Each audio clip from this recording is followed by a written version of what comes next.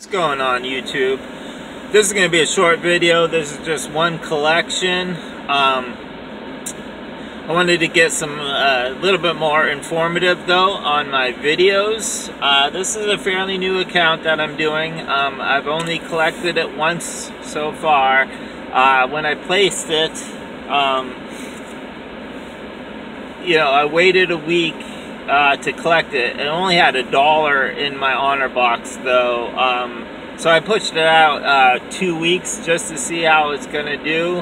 Um, so I'm not expecting too much money from it.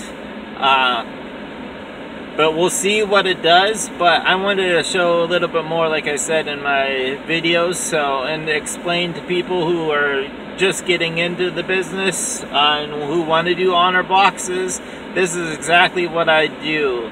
Um, I have always one honor box with me that I I don't place just so I can get in and out of uh, these businesses, you know, quick and easy. It's set up. I'll show you. Um, I'll show you uh, my honor box here, but it's already got candy in it. It's already set up.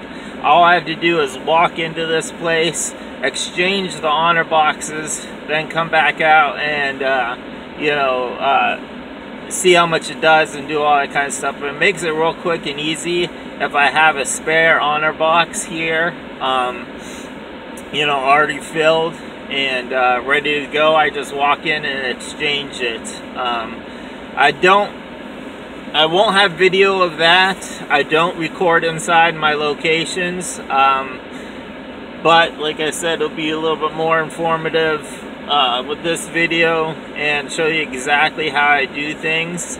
So uh, just to show you um, my spare honor box, I will do that right now. So like I said, here's my spare honor box. I'm just going to grab this and switch it out with the other one.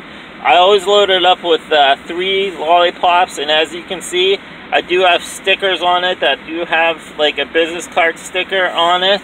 Um, but yeah, I like the acrylic honor boxes, and that's what I use. So uh, we'll exchange this, and then I'll come back with the results of how it did, uh, and we'll get back at you.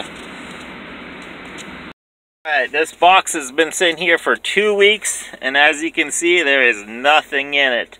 We're going to count the lollipops and uh, see if there's 30 lollipops in there, or if they took some without paying. We're going to do that real quick here. Two, four, six,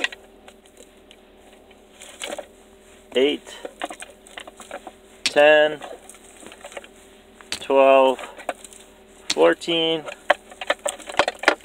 sixteen, eighteen, twenty, twenty-two.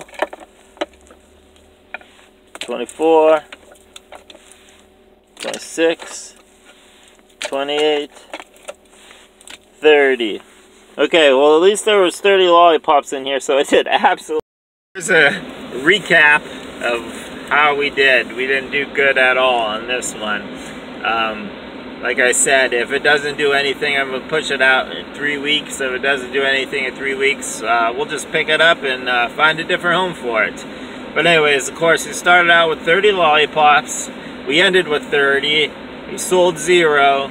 We didn't collect anything. Cost of product was also zero.